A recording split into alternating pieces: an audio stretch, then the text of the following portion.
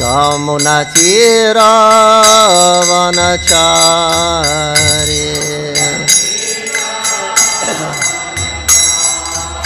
Yamuna वनचारे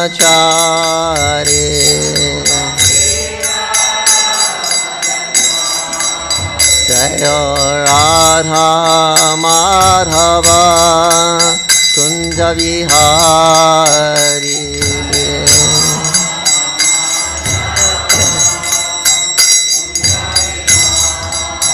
Hare Krishna, Hare Krishna, Krishna Krishna, Hare Hare, Hare Rama, Hare Rama, Rama Rama, Hare Hare.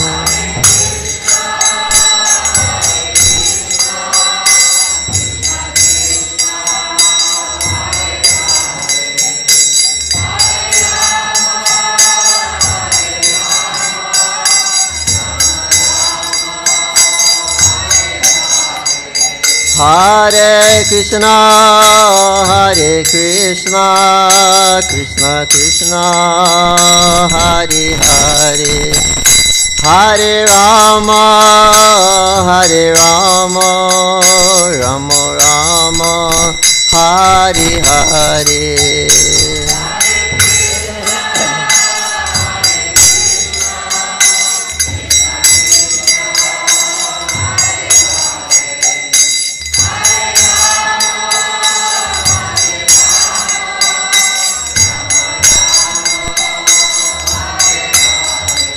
Hare Krishna, Hare Krishna, Krishna Krishna, Hare Hare, Hare Rama, Hare Rama, Rama Rama, Hare Hare.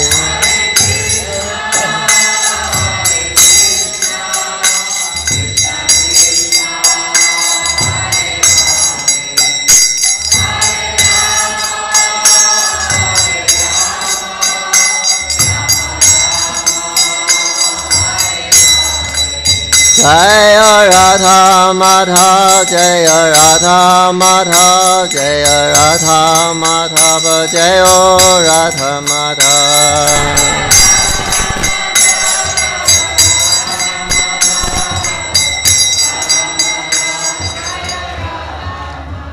Jaya Gorani Chai Jaya Gorani Chai Jaya Gorani Chai Jaya Gorani Chai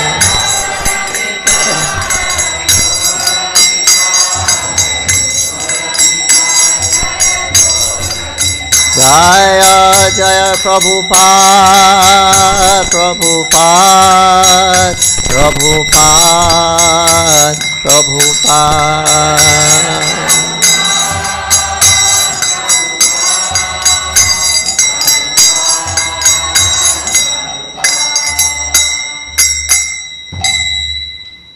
Shri Radha Madhav जू की जय। प्रभुपाद की जय। जय ओम विष्णु पर परमहंस परिप्रचाकाचार्य अष्टोत्तर शतशी श्रीमान divine grace भय चरण अरविंद भक्ति वेदांत स्वामी श्रील प्रभुपाद की इस्कॉन प्रतिष्ठ आचार्य जगत गुरु श्रील प्रभुपाद की जय अनंत कोट वैष्णव वृंद की जय नमाचार्य हरिदास ठाकुर की जय प्रेम से हो श्री कृष्ण चैतन्य प्रभु नित्यानंद श्री अद्वैत करथा शिवा श्री गौर भक्त वृंद की जय। जय श्री श्री राधा कृष्ण गोप गोपीनाथ। श्याम कुंद राधा कुंद गिरि गोवर्धन की जय। श्री वृंदावन धाम की जय। नवदीप सीमाय धाम की जय। गंगमय की जय। जमुनमय की जय। भक्ति देवी की जय। तुलसी महारानी की जय। श्री हरिनाम संकीर्तन गौर भक्त वृंद की जय। Jai Nitai Go Premanandi Hari. All glories to the Asamba devotees. All glories to the Asamba devotees. All glories to the Asamba devotees. All glory to Sri Guru and Sri Gauranga. All glories to Sri Prabhupada.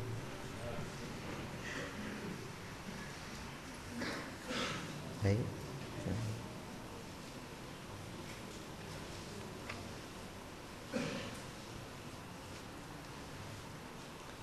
So we're reading from Srimad Bhagavatam, Canto 8, Chapter 10, text number 7 to 25.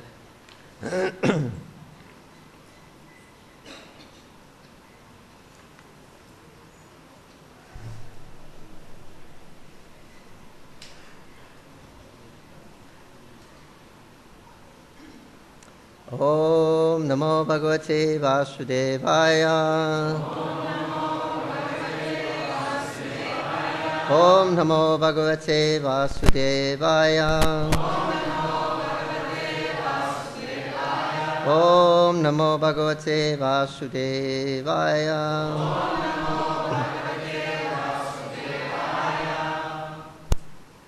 Heravatam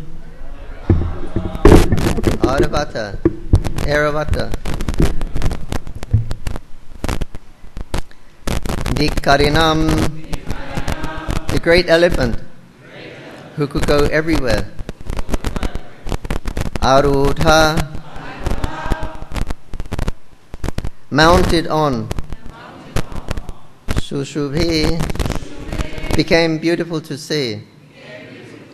Shwarat Indra. Jata just as. Shravat. Flowing. Pashravanam waves of wine.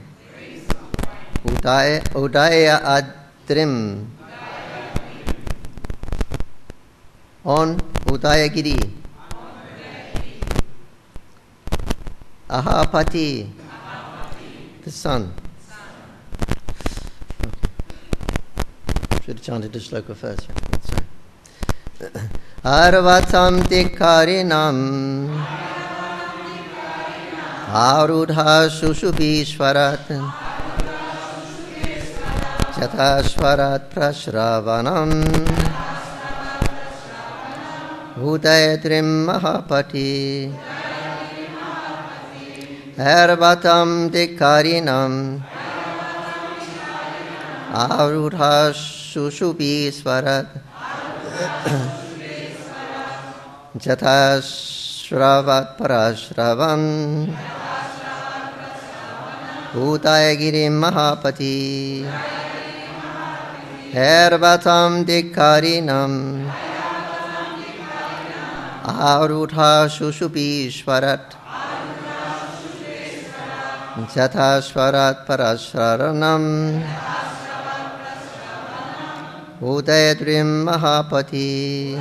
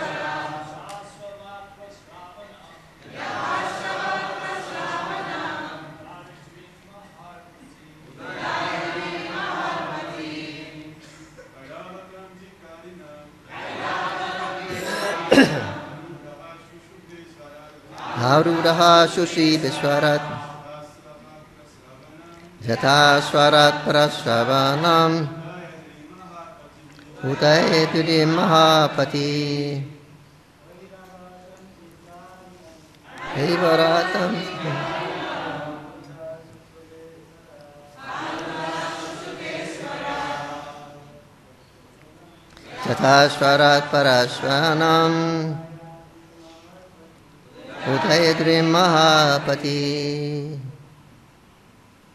धन्यवाद जी ऐरपतं दिक्करिणं हारुदा शुशुभीश्वर यथास्वरप्रसवनं उदयद्रिमहापते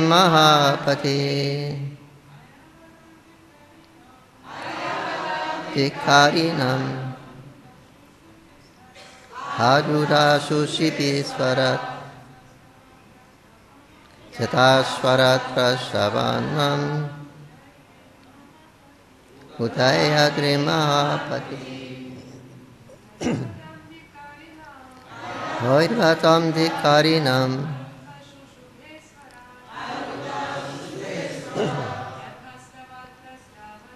यथा श्रावत्प्रशभानम् उदयतिरिम्भापति भैर्वाचान्धिकारिणम्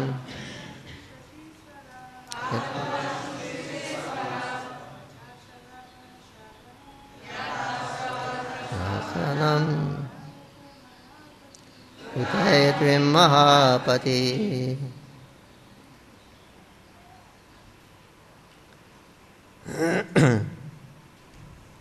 Translation and purport by His Divine Grace, Sabha Charananda in the Bhaktivedanta Swami Srila Prabhupada Ki Jai.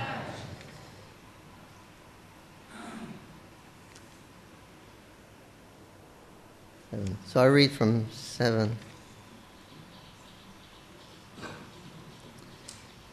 Texts seven.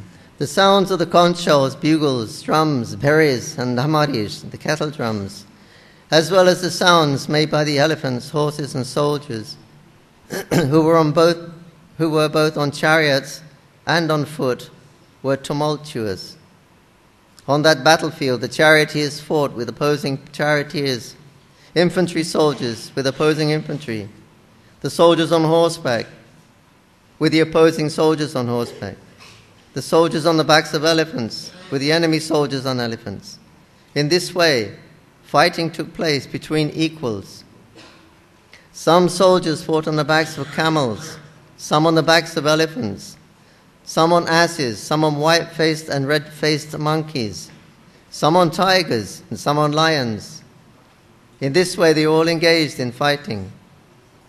O king, some soldiers fought on the backs of vultures, eagles, ducks, hawks, and bhasha birds. Some fought on the back of timingilas, which can devour huge whales. Some on the backs of sharabas, some on the buffaloes, rhinoceroses, cows, bulls, jungle cows, and arunas. Others fought on the backs of jackals, rats, lizards, rabbits, human beings, goats, black deer, swans, and boars. In this way, mounted on animals of the water, land, and sky, including the animals with deform- deformed bodies, both armies faced each other and went forward.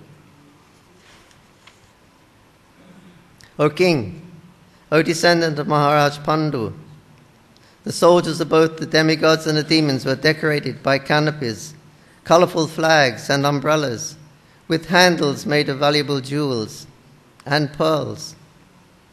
They were further decorated by fans made of peacock feathers and other fans also. The soldiers, their upper and lower garments, waving in the breeze, naturally looked very beautiful. And in the light of the glittering sunshine, their shields, ornaments, and sharp, clean weapons appeared dazzling. and thus the ranks of the soldiers seemed like two oceans with bands of aquatics. uh,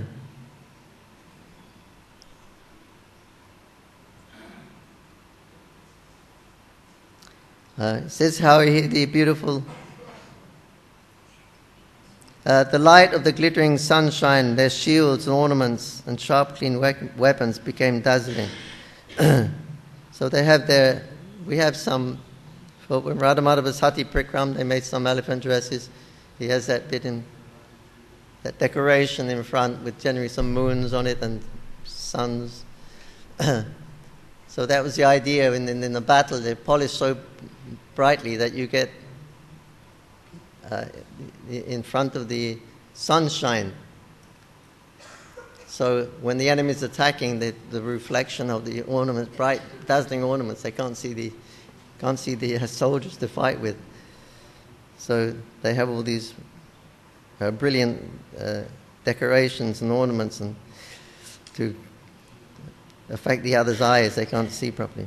From that battle, the most celebrated commander in chief, Bali Maharaj, the son of Virochana, he was seated on a wonderful aeroplane named Vyasa. O king, this beautifully decorated aeroplane had been manufactured by the demon Maya and was equipped with weapons for all types of combat. It was inconceivable and indescribable.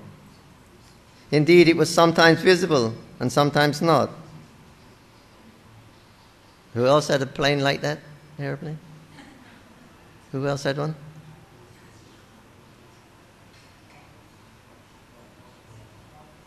In Krishna book? The airplane, it went sometimes on, on the sky, sometimes on the water, sometimes sometimes invisible, sometimes on a mountain. Huh? What? Salva, yeah, Salva. He had a mystical. I think Maya demon built that one also. Same like that. Ah, it was inconceivable and indescribable. Indeed, sometimes it was visible, sometimes not. Seated on that aeroplane, under a beautiful protective canopy and being fanned by the best of the chamaras, Bali Maharaj, surrounded by his captains and commanders, appeared like the moon rising in the evening, illuminating all directions. Seeing Bali Maharaj on all sides were the commanders and captains of the demons, sitting in their respective chariots. Among them were the following demons Namuchi, Shambara, Bana. These are famous demons you read throughout the Krishna book, fight, try to fight with Krishna.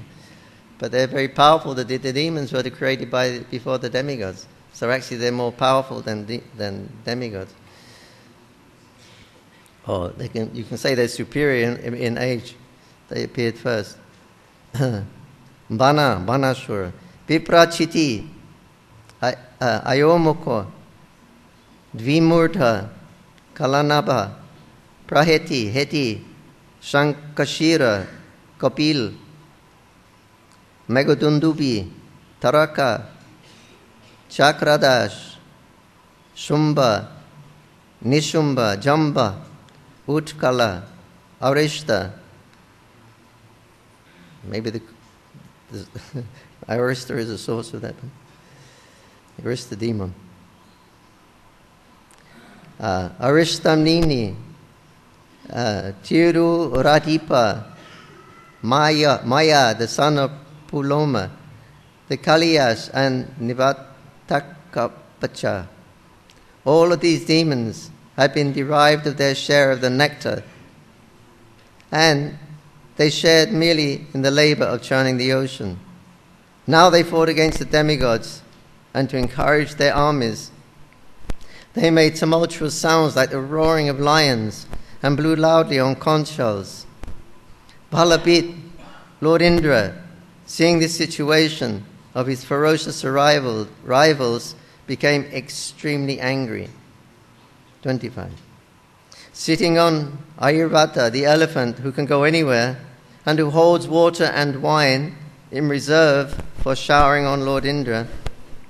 Sorry, for showering.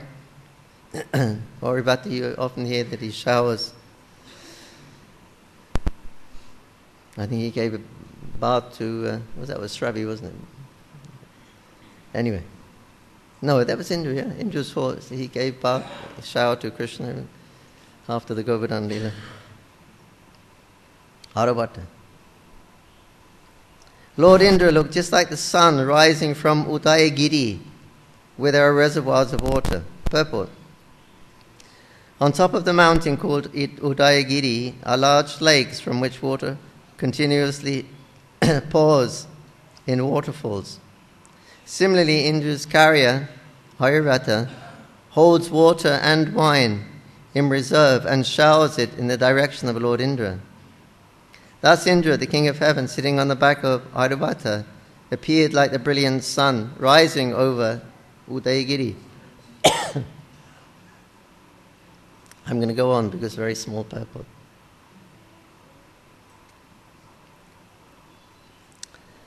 Surrounding Lord Indra, the king of heaven, were the demigods, seated on various types of vehicles and decorated with flags and weapons. Present among them were Vayu, Agni, Varun, and other rulers of various planets, along with their associates. The demigods and demons came before each other and reproached one another with words piercing to the heart. Then they drew near and began fighting face to face in pairs. O king, Maharaj Bali fought with Indra, Kartikeya with Taraka, Varuna, and Heti, and Mitra with Praheti. Yamaraj fought with Kalanabha, Vishwakarma with Mayadanava. See how they're paired off equally. Maya, Vishwakarma is the architect of the demigods, Mayadamba is the architect for the demons. And Indra is the king of heaven, and he's fighting with Bali, who is the king of the demons.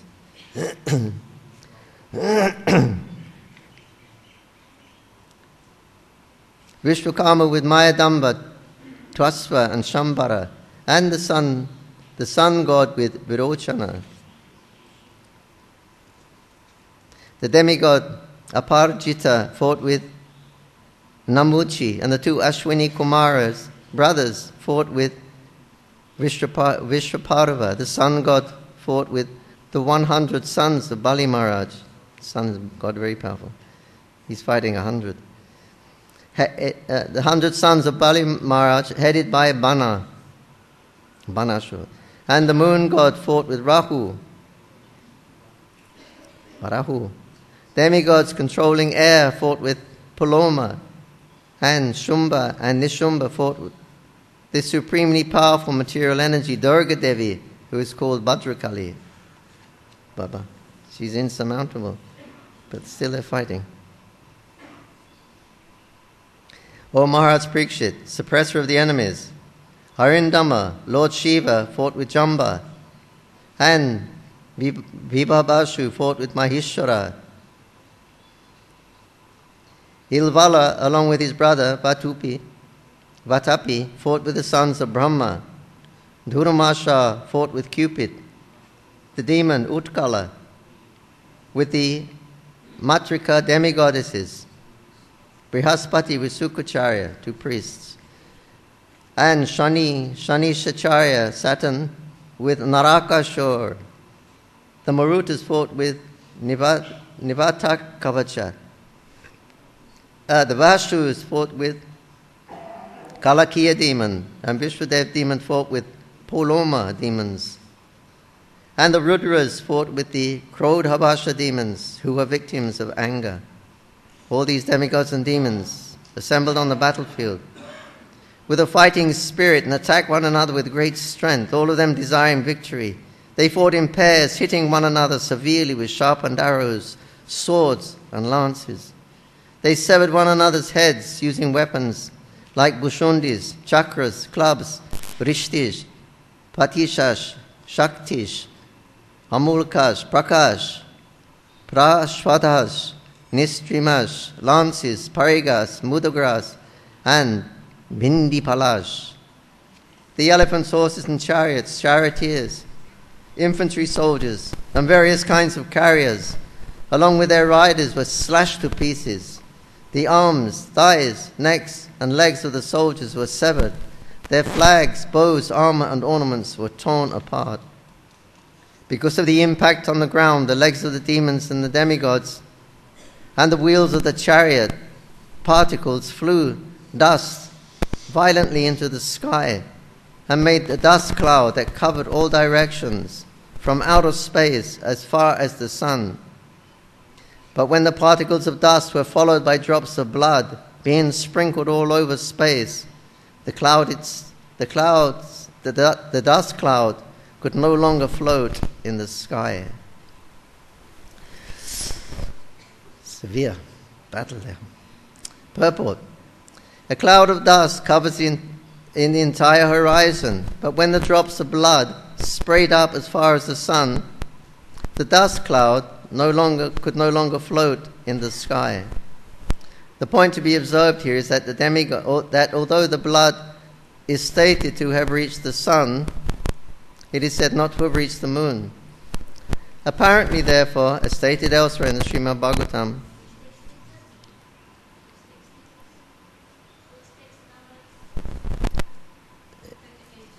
Thirty-eight. Huh? There was only a little purport there. Huh? No, I'm going. I, am I've already passed. I'm going to thir- thirty-eight. I know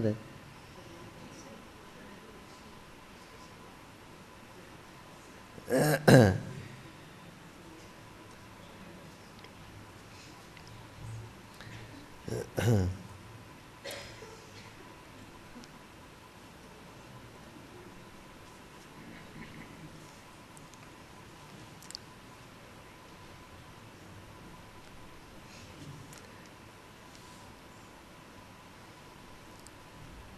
You can read it again tomorrow. We'd like to hear it.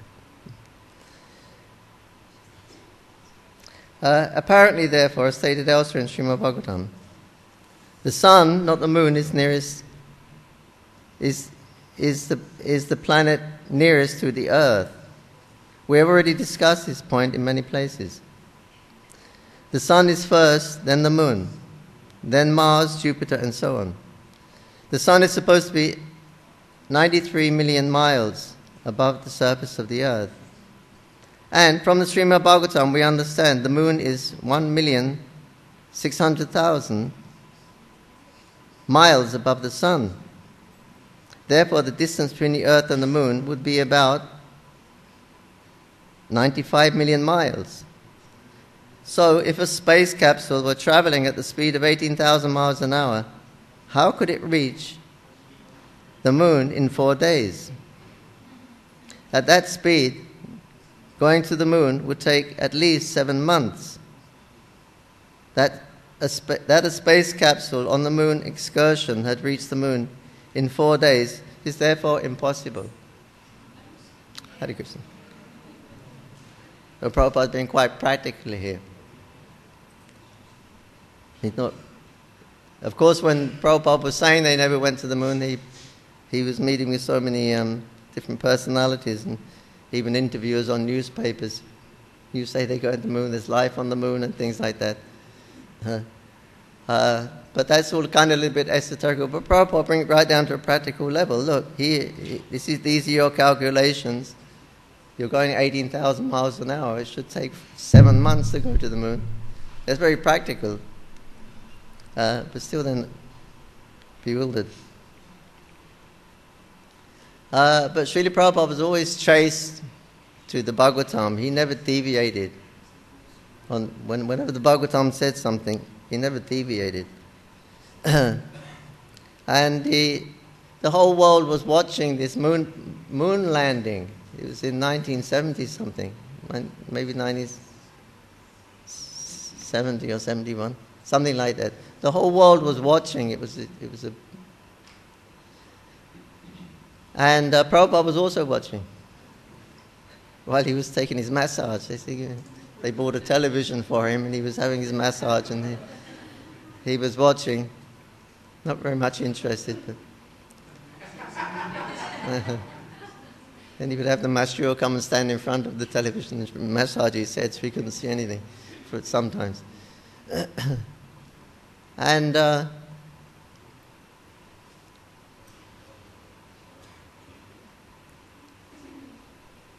Uh, yeah, then they actually landed, and the whole world was. And Prabhupada said, "Well, so what's happening?" He said, "Well, first of all, the, the film went a bit fa- phasey, then it kind of cleared, and then you, suddenly they were on the moon, and you could see them walking, and they were jumping in slow motion, and uh, because of the gravity there." And uh, uh, Prabhupada said they didn't go. right at that time, the whole world was saying they got a big victory. They didn't go, Prabhupada said. Not possible. Uh, so Prabhupada wasn't phased by uh, the reports and everything else. He Prabhupada was stuck on Srimad Bhagavatam. It's a heavenly planet, he said, you cannot.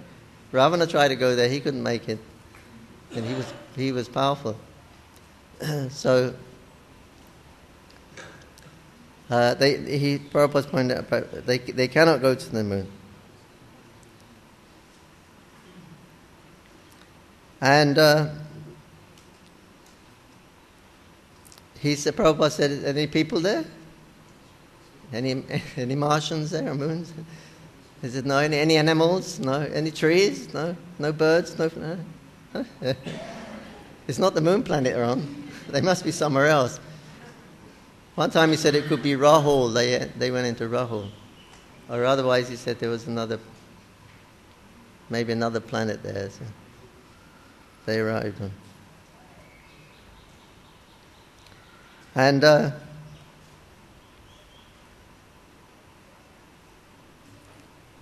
Uh, this uh, Purusha, Purushottam Das, disciple of Srila Prabhupada, was assisting. him. And uh, he couldn't accept it, even. And he said, Look, but Prabhupada, they've landed. We said, We got it on television. And Prabhupada would tease him over those few days. Everyone was talking about his Al Purusham. He, he, he, doesn't, he doesn't think that, that, that they didn't go to the moon. And he would tease him. And one time they were. Uh, Jamuna was cooking out something, I think, and the kerosene stove caught on fire. It was blazing up, and everything became black, and there was soot everywhere. The whole kitchen was full of soot, black soot. And so Jamuna rushed inside with Purushottam, and they tried to put the fire, put the fire out, and everything like that. And then they come out the room to see Prabhupada, and the Purushottam was covered in soot, black everywhere. And Prabhupada said, "Oh, Purushottam, you've been to the moon." you come back covered in dust. and, uh, but he couldn't take it, actually. And he told Prabhupada later, he said, I can't, I just can't ha- hack it, you know. But the whole world is saying. So it's, I, I you know, I, I feel i got to leave. So he actually left Prabhupada because of that. And Prabhupada said, I can understand that he's, he, he's leaving because of what I said. That's okay. He said, but I can't understand why, if the Shastra says why he's leaving. If the Shastra says he's leaving, what? huh? Yeah, I can't understand why he's leaving. I can, I can understand why he's leaving because I'm saying it. That's okay, Prabhupada, taking a humble position. But I can't understand why he's leaving when the Shastra says they didn't go to, they can't go to him.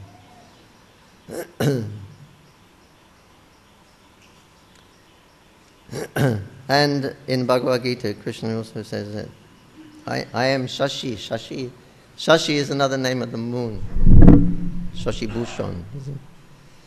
so Krishna is known as, the moon is known as Shashi. and in the 15th chapter uh, of Bhagavad Gita, Krishna says, I, I become the moon, I become Shashi.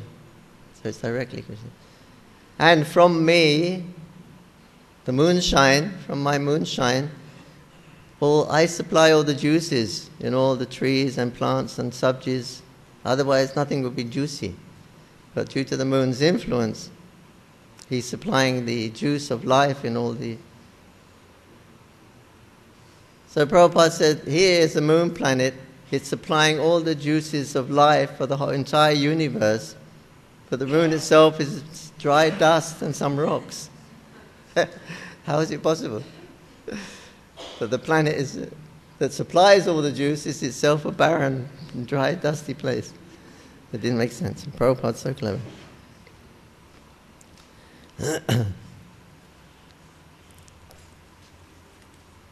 anyway, the battle is raging on. I'd like to, read something else that we already passed. I, didn't, I wasn't here at the time. I don't know if I'm going to repeat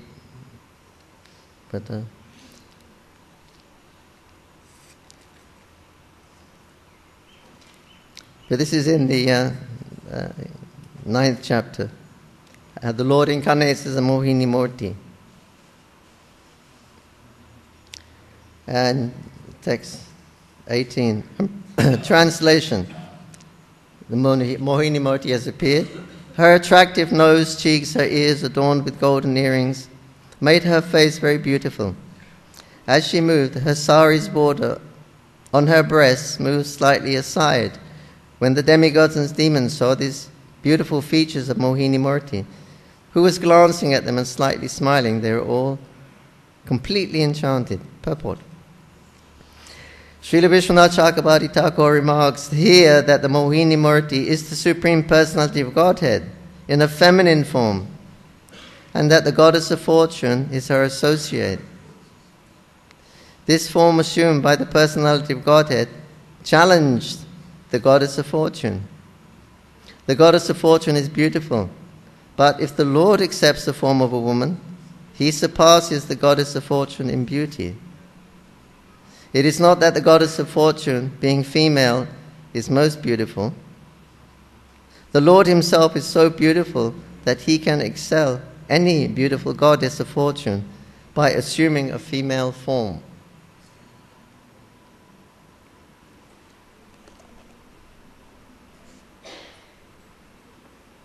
And this is Vishwanath Chakrabarti Thakur's uh, commentary also. Translation and commentary. Gazing on the form of the Lord, resembling the friend of Lakshmi, whose face had beautiful ears, nose, and cheeks, gold earrings, the cloth falling from her breast, the devatas and the demons became enchanted by her smiling glance. Purport. Though the Lord is the friend of Lakshmi, he became her female friend. Though Narayan is, the, uh, Narayan is the most beautiful among males, you, Lakshmi, should not become proud and think that you are the most beautiful among women. I, the Supreme Lord, am also the most beautiful among women. To prove this to Lakshmi, he showed his form. She had golden earrings and a beautiful nose.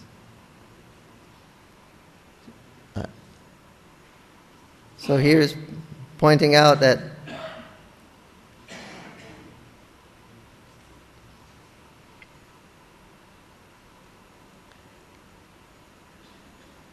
Uh, that here the Lord saying he's, he he's Vishnu Tattva, but he expands as a female and he becomes more beautiful than the goddess of fortune. Uh, the gopis are goddesses of fortune. Lakshmi and gopis, they're also goddesses. Radharani is the supreme goddess of fortune. So who is the most beautiful, Krishna or Lakshmi or Radha?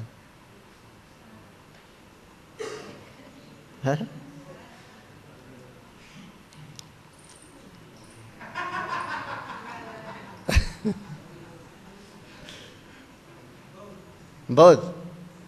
Both. But here Krishna says he is more beautiful. Hmm? Krishna is more beautiful. Hmm? Yeah, okay. Some, not everybody is saying that. what about Srimati Radharani?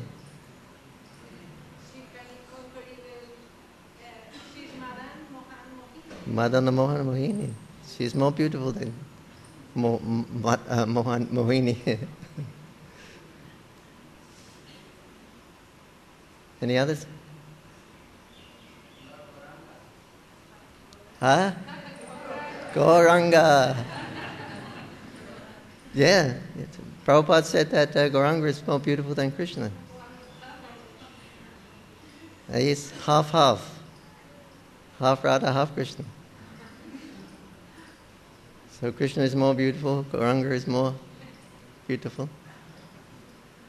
Radha is Madana Mohana Mohini, she's more beautiful.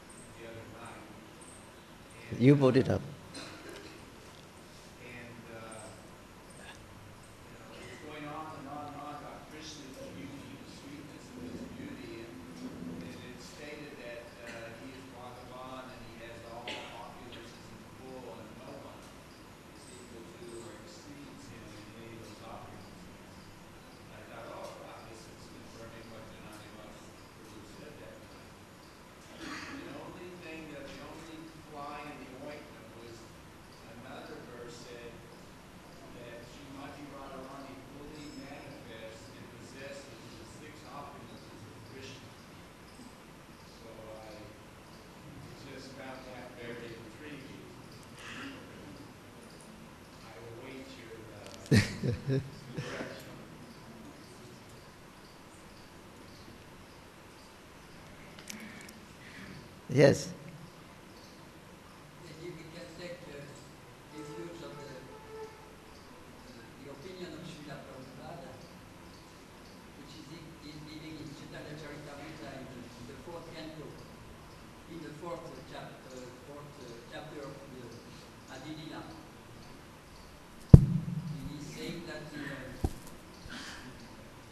in Vaikuntha, Narayan is much more beautiful than Lakshmi.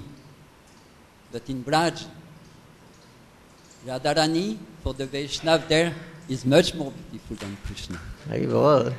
So this is Prabhupada's opinion in his book, Chaitanya Charitamrita, Adilila, fourth chapter. For the verse, you have to find out by yourself. I mean, speaking to the devotees. So both both are more beautiful.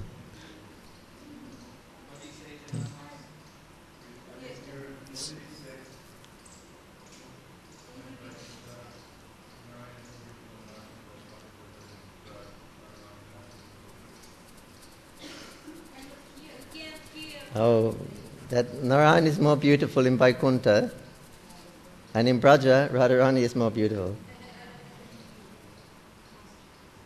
What Prabhupada says in Chaitanya Charitamrita, chapter 4, where uh, Krishnadas Kaviraj Goswami is speaking about the, the beauty of the, the opulences of Krishna and Shrimati Radhika, and that even Narayan is so much attracted to Krishna's beauty.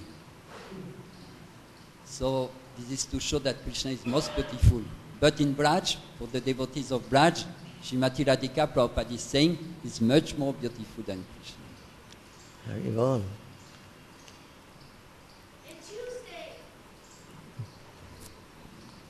On Tuesday, Pankajanga Prabhu is giving Russian Bhagavatam class, and when he's commenting this uh, Mohini Murti's beauty, he said, um, Krishna is more beautiful than Srimati Radharani because Radharani is a manifestation of Krishna's internal energy, and Krishna is the he is the supreme personality of Godhead himself, so he's more beautiful than Srimati Radharani.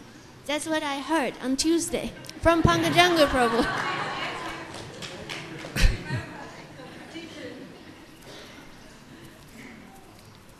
Someone else?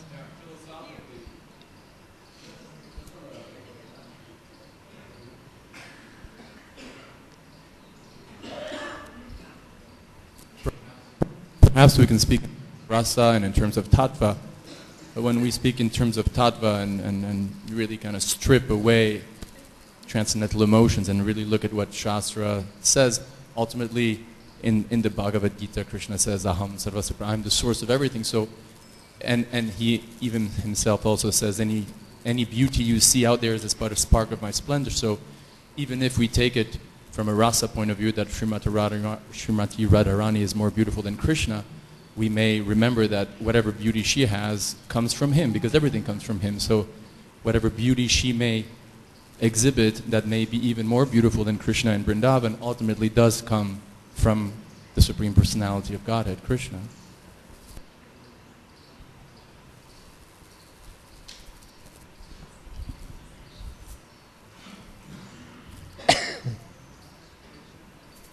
Maybe it's my speculation, but they could also just compete uh, in beauty with uh, each uh, one another. Radharani and Krishna, just like when Krishna sees Radharani, his beauty is increasing more and more, and when Radharani sees Krishna, her beauty is increasing more and more. So it may be, well, it's my speculation, but it could be like that.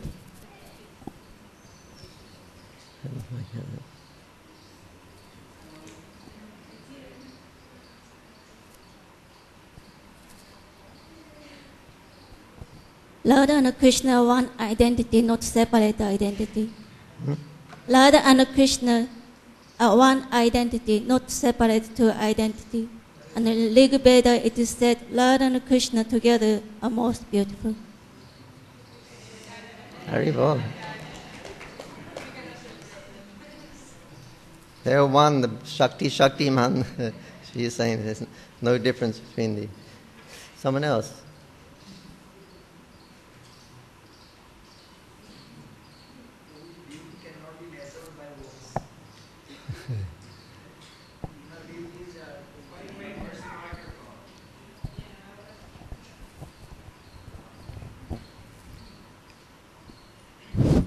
Mean to say that beauty cannot be measured by words. I mean to say that one should calculate anyone's beauty through his nature.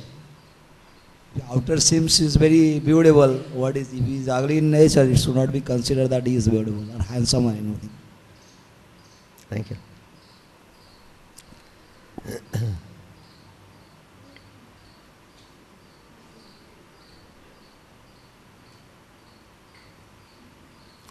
okay. We had the, uh, I think the most popular one is that Krishna is the Shakti Man and Radha is the Shakti. So therefore, Keshav Mati said, you can't separate the Shakti, the Shakti Man. The Shakti the, takes his shelter on the Shakti Man. That's the Ashraya of the Shakti. Without, uh, but without the uh, uh, Shakti, there's no meaning to Shakti Man. Uh, without Radha, there's no meaning to Krishna. Without Lakshmi, there's no meaning to Narayan. Because uh, just like the, the sun, its Shakti is heat and light. If there is no heat and light coming from the sun, what is the meaning of the sun? It has no meaning. We wouldn't be able to see it because there's no light. We wouldn't be able to feel the heat because it's not displaying its so there's no meaning to it. So similarly, God, without his Shakti, has no meaning. If Krishna is alone, that's practically my Mayavad philosophy. Krishna alone. Uh, who is it, the Pushtimarg? I think Pushtimarg? Nimbarka even though they're one of the four sampradayas, Prabhupada said, be careful of their philosophy, because if you trace it out towards its end, they come to Krishna alone. And the Hamsa Vajrapāṇi, everything comes from him. Uh, but the, the, the other go, uh, Vaishnavas, uh, they're accepting that Krishna is more complete with his Shakti. He's incomplete without his Shakti. So a complete picture of God is Krishna along with all of his different potencies. That's a more complete picture of God. so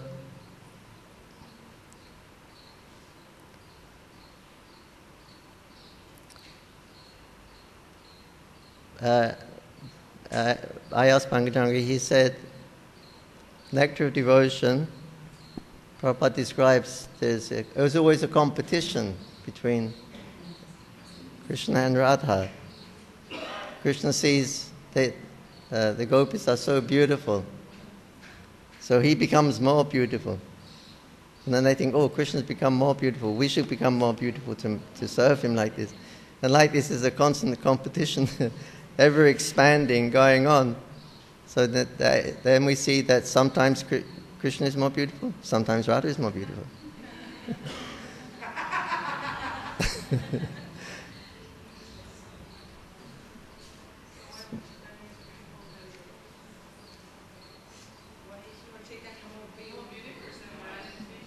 He's both. He's, he's Radha and Krishna together. Radha Krishna together.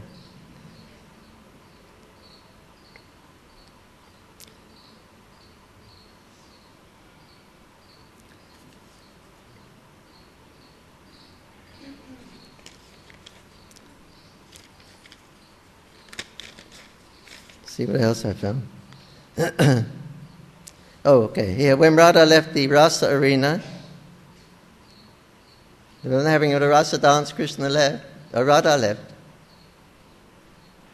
Krishna went out to search for a way to do that. He can create millions of Radhas. But because, she, because of her attraction and beauty, Krishna himself left. He left all the others. He went to see.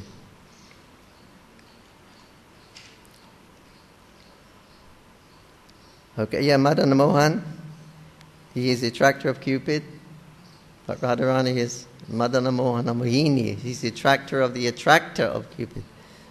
So therefore, she is more beautiful then.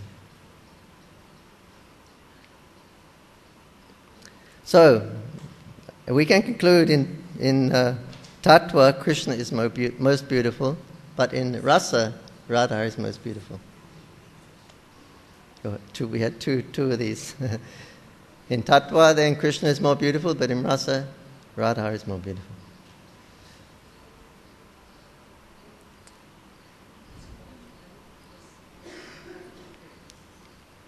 Uh, Krishna's, uh, Prabhupada says that Krishna alone is actually not so beautiful. But when he's surrounded by all of his potencies, he's very beautiful, especially when Srimati Radharani is there.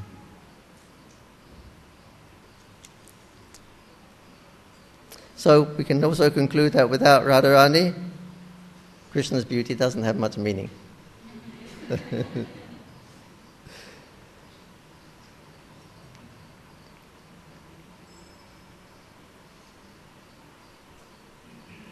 And here's the conclusion Keshavi gave, or one conclusion. In the Rig Veda, quoting from the Vedas, in the Rig Veda it is said,